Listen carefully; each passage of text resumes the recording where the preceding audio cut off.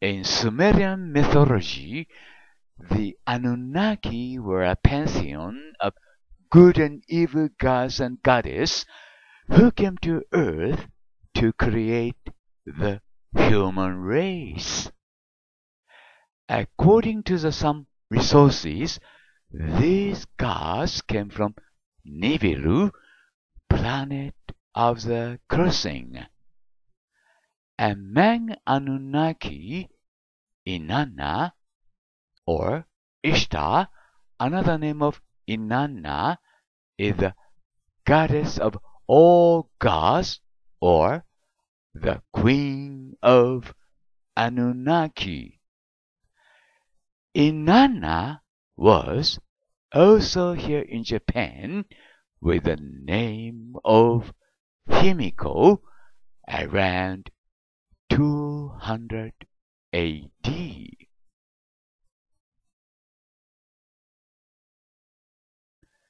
シュメールに残る神話によれば、女神を含め神々を総称してアヌンナキと言いました。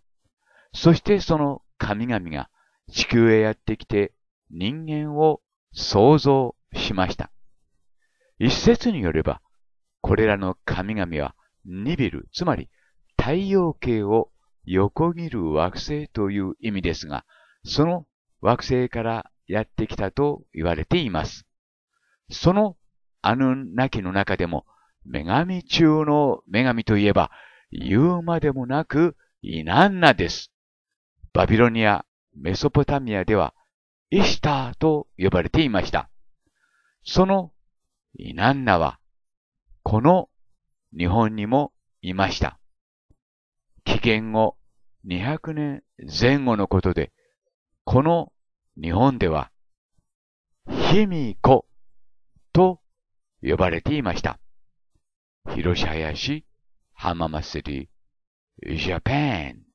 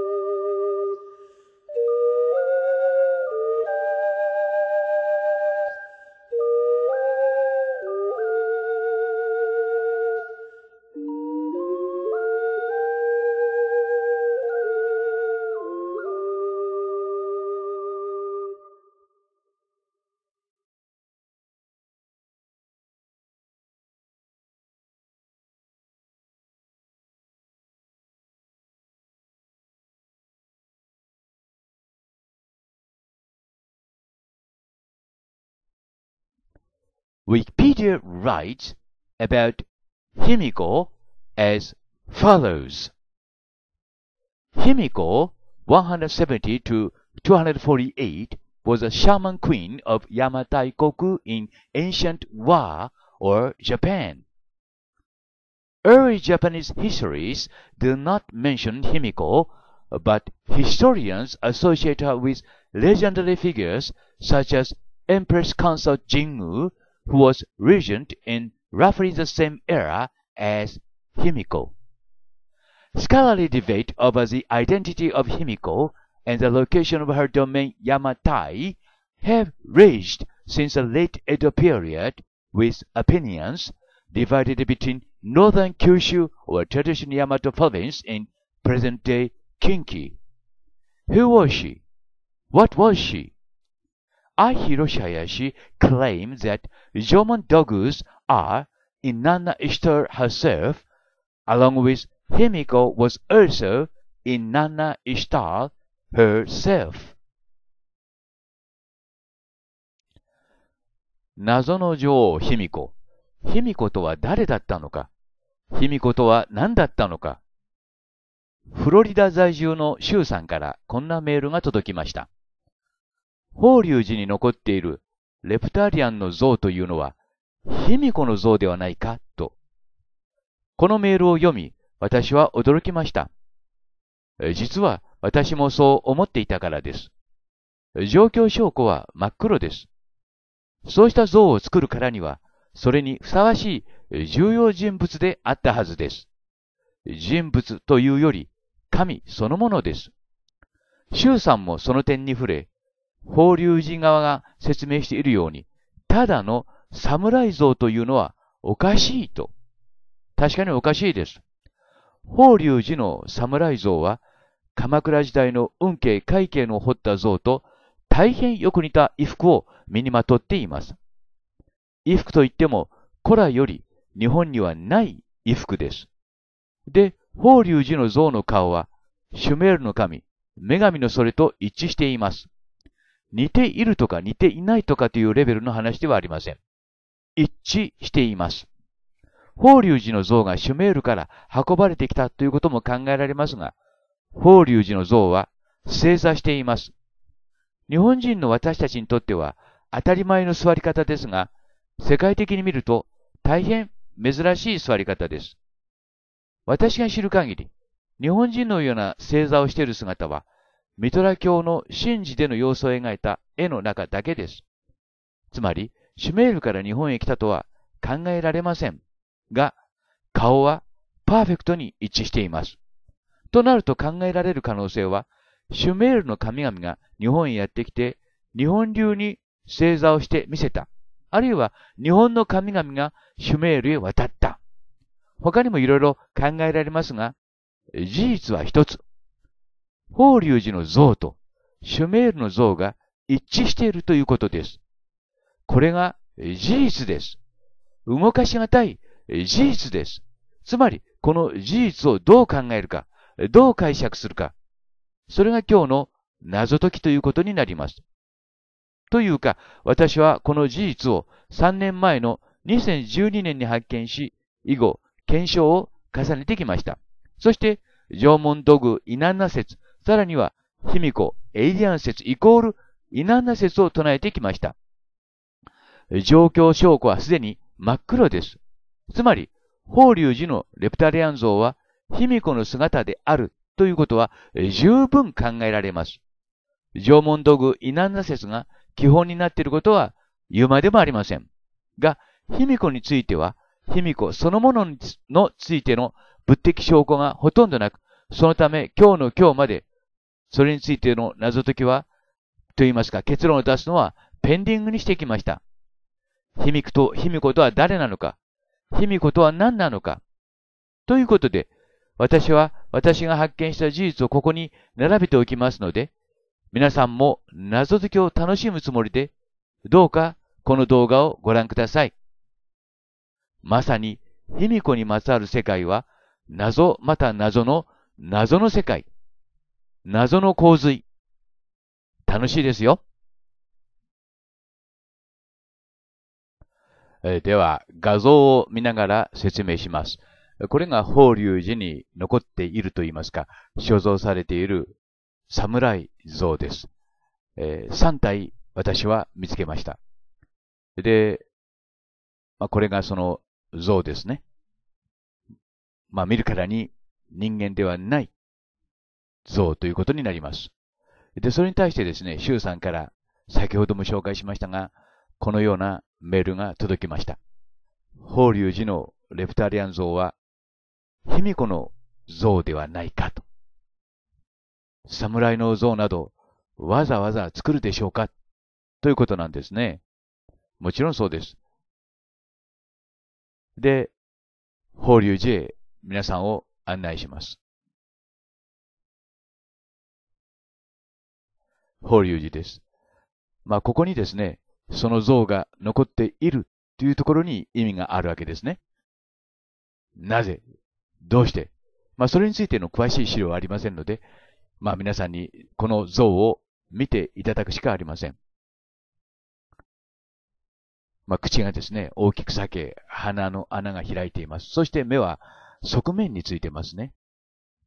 で、これを、まあ、レプタリアン A としておきます。で、これがレプタリアン B ですね。まあ、よく似てますけども、やはり部分的に違います。で、特にこのレプタリアン C に、え注目してください。この像が、特に学ってますか、綺麗と言いますかね。顔立ちがすっきりしています。まあ、こんな像がですね、残ってるわけですね。で、比較してみます。これが、まあ、先ほどのレプタリアン A、B、C ということになります。まあ、ほとんど同じなんですけどもね。あの、まあ、皆さんご覧になっているの通りです。で、頭部がですね、頭の先がね、折れているのもあるんですね。まあ、そこに注意してくださいね。これなんか明らかに折れています。で、目がですね、細くて長くて、まあ、先ほど言いましたように側面についてそして、まあ、ちょっと変わったですね、このような、まあ、衣服を身につけているということですね。日本の鎧兜にも似てますけども、似て非なりっていうところでしょうかね。で、A、B、C と並べています。で、口が大きく裂けている。目が側面についている。まあ、これを見てですね、侍像という方がおかしいわけです。ありえないわけですね。で、頭の部分がですね、ちょんと上出てると言いますか。まあ、こういった様子なんですね。で、大変興味深いことにですね、ダヴィンチがですね、アンギャーリの戦いの絵の中で、そのレプタリアンの姿を描いています。まあ、これは一応コピーということになってますけどもね、まあ、正確にコピーされたものだと私は判断しています。この絵の中に、まあ、十数個、私が見つけた範囲では、十数個の隠し絵が隠されています。まあ、その中のいくつかを紹介しますが、これがまあ竜なんですね。竜も隠し込まれているということです。まあ、隠し絵だらけと言ってもいいんでしょうか。隠し絵がたくさんこの中に仕込まれています。特にこの絵の主題はこの下にあります。これは森本聡さんという方が発見なさいました。これ逆さまにしますと、頭の周りに血が流れているの分かりますか？これがまあ後輪をかたどっているわけですね。隠し絵です。後輪をこのように形作っている。すなわち、この人物はイエス、キリストであるということを示します。示しています。しかし、まあ、替え玉かもしれません。その証拠にですね、この人物の手には、いわゆる聖痕が残っています。この黄色い丸のところに注意してください。手の甲にですね、穴が開いてますね。すなわち、このような形で、ダヴィンチはですね、この人物がイエス・キリストであり、イエス・キリストが馬に踏みつけられて、頭から血を出して、丸い、まあ、形になってますよね。まあ、今に死に耐えようとしているという姿を描いているわけです。ダヴィンチはこういう形で、自分の思想をあちこちの絵の中に隠し絵という手法で、まあ、仕込みました。手に注意してください。穴が開いてますね。精魂です。なわち、馬に、まあ、踏みつけられて、頭から血の血を流しているイエス・キリストを書いたというわけです。他にもいろんな隠し絵がこの中に仕込まれています。中央の馬もおかしいです。すなわち、これは向かって右側の方が人間で、向かって左側の方がレプタリアン族であることを示しています。いろんな説明がなされてますけども、それは後付けていますかね。後世の学者たちが勝手につけた説明です。で、この絵の中に、法隆寺のレプタリアンが像がここの中に仕込まれています。ここに一見すると、まあ人間らしく男男の顔が見えますね。これは一見すると男の顔に見えるわけです。がしかし、この絵の中にはもう一つの顔が仕込まれています。これは正光大久保さんという方が発見して私に教えてくださいました。この顔を見てください。赤いところが目です。そして口がありますね。他にもあの、まあ、私が発見したところ十数個の隠しがありますけども、その中の一つというふうに考えてください。正光大久保さんからのメールです。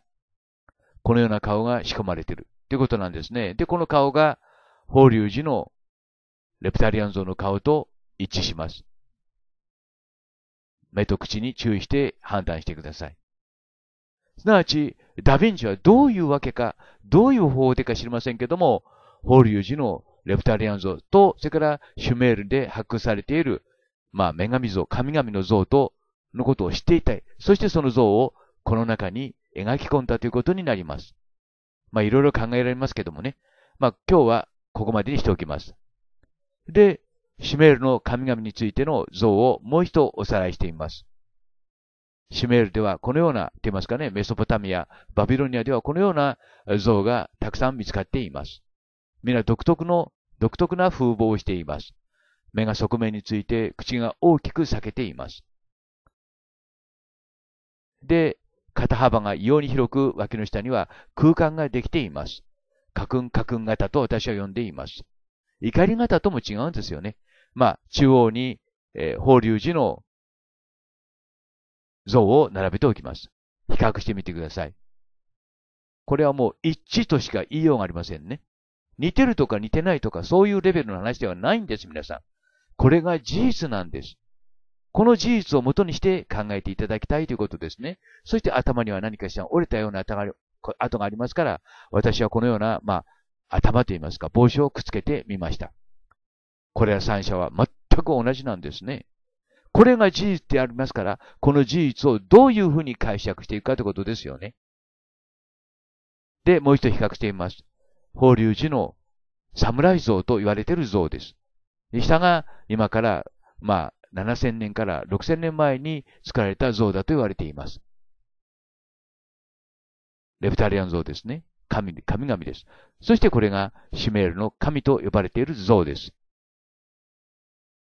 日本の法隆寺に全く同じものがあるという点でですね、空想や想像力で作られた像ではないことは、これで皆さんにも分かっていただけると思います。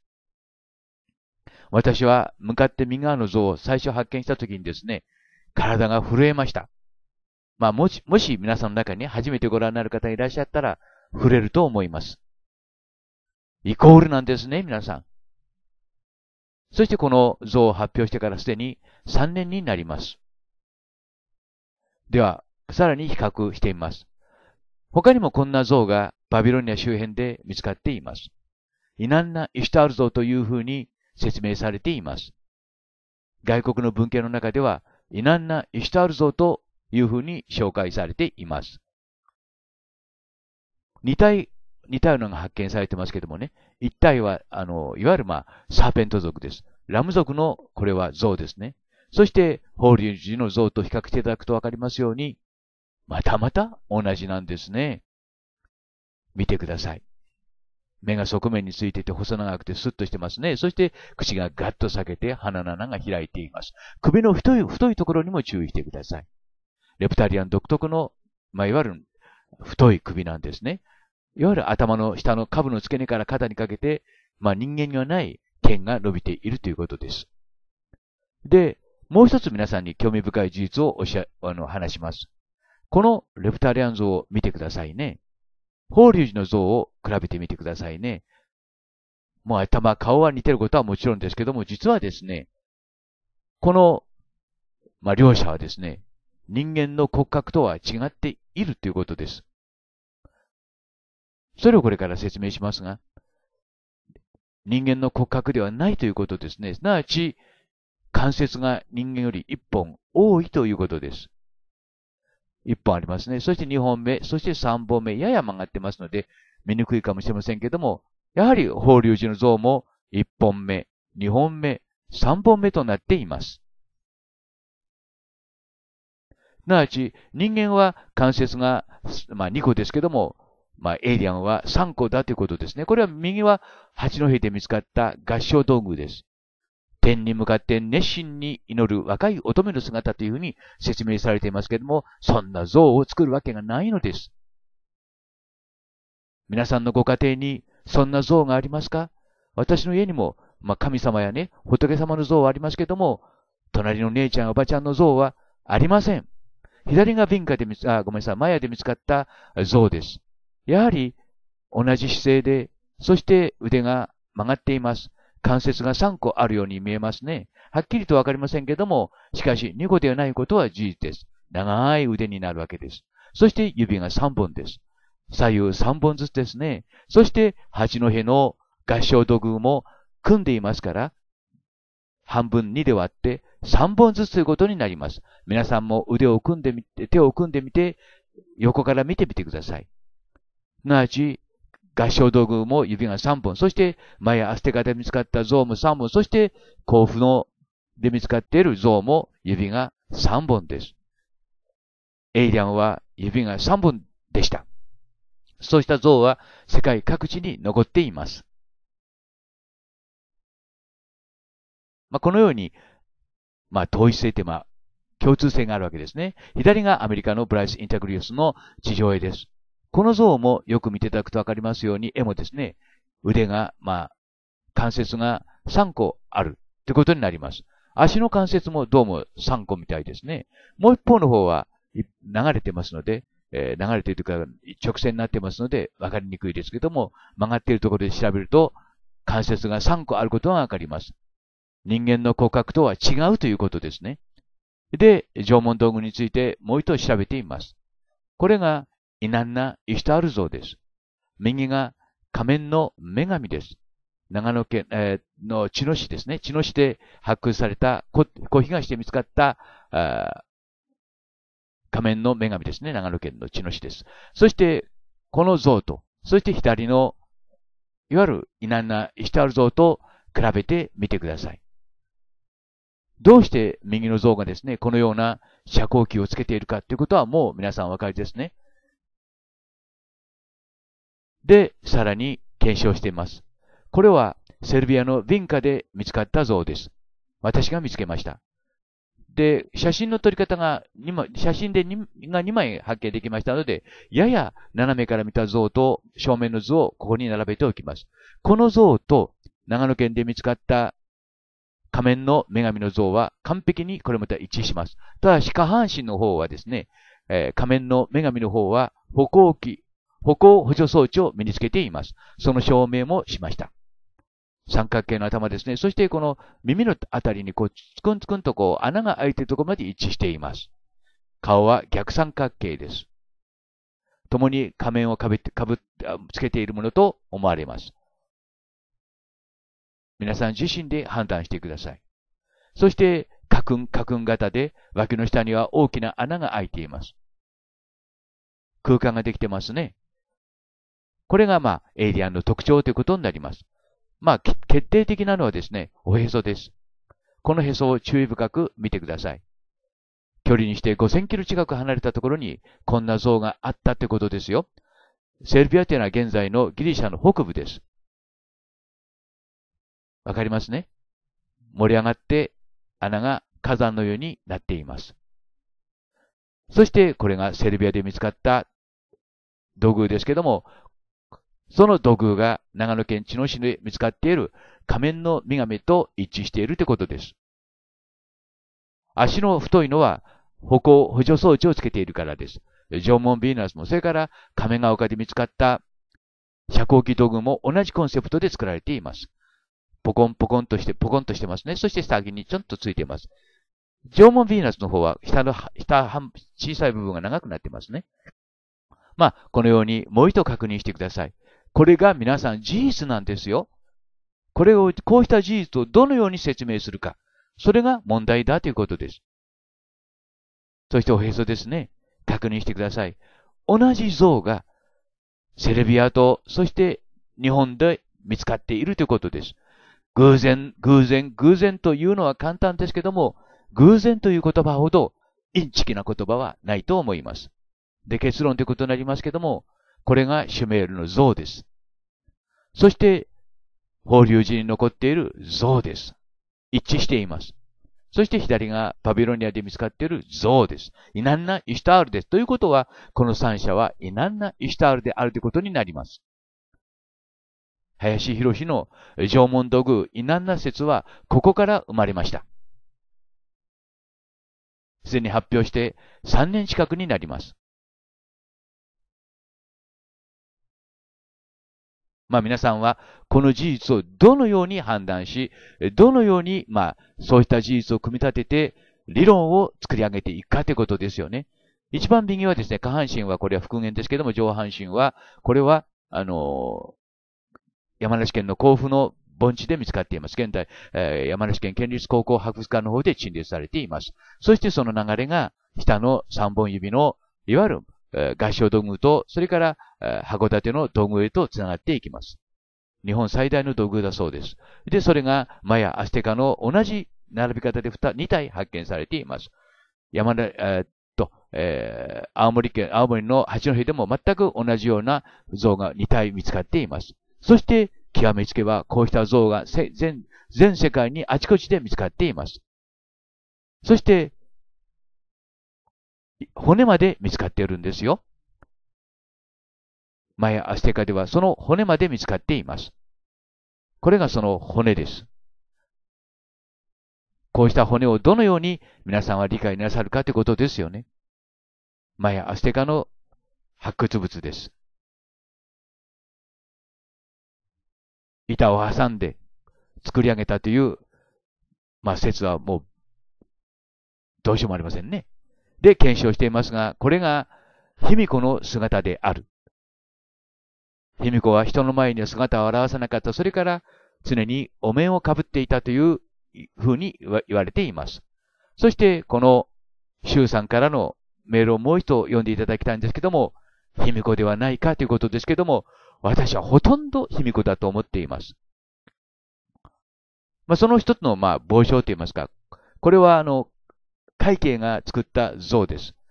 この検証もしてみましたが、これはギリシャ彫刻と同じ方式で作られています。ほんのわずかだけバリエーションを変えて、全く同じ像を作っていくというやり方なんですね。が、しかし、ほんのわずかだけ動きが入っています。まあ、会計はこうした像を次から次へと作ったわけですけども、その完成度の高さという点でも、ギリシャ彫刻と同じですね。まあ、実際に会計の彫刻を見られましたら、私はゾッとしましたね。これは人間技ではないとです。その前後にこうした像が積み重ねられて作られた。その後、この像が発展して現在の彫刻につながっているという証拠は何もないんですね。そして、この会計の作った像と、そして、法隆寺に残る像のコンセプトを見てください。この、なんて言いますかね、だんだんになった腕の衣服の様子、それから首の周りのこの様子、順に比較して、極めつけはここなんですね。このちょうどおへその下あたりにちょろっとこうしたものが出ていますね。これは何かということなんですけども、私にはわかりません。いろいろ説明されているかもしれませんけども、そういった説明は意味がないと思います。ともかくも、この会計のこの像のこのちょろんとした出て分と、そして、まあ、なんて言いますか、法隆寺の像のちょろんとした出てる分が一致しているということですね。そして、最後に星座について触れておきたいと思います。これは、マコテさんという方が私に教えてくださいました。世界あちこちに、まあ、いろいろな座り方がありますけども、正座という座り方は非常に世界的にも見て珍しい座り方なんですよ、皆さん。日本人の私たちにとっては、ありふれた座り方かもしれませんけども、大変珍しい座り方であるということですね。そしてこのミトラ教の信心の中で、この信者の人たちは正座をしています。そして左の法隆寺の像も正座をしています。何か関係があるのでしょうか？ないのでしょうか？そして、シュメールの像をもう一度見てください。カクンカクン型で、そして脇の下に大きな穴開き、そして首が太くて、そして頭には、まあ、ちょこんとした出たものがあるわけですね。何かついていたものと思われます。長い細い目、側面についています。そして、裂けた口、鼻の穴が開いています。他の像と比べても、やはり同じです。こうした事実を皆さんはどのように考えられますか？これをそのまま偶然だと捉えますか？それとも、さらにその向こうにある理論を引き出しますか？それは私はこの像は、まあ、卑弥呼の像とは言いませんけども、ほぼ卑弥呼の像に間違いないと思います。シュンさんどうもありがとうございました。それでは皆さん、バイ。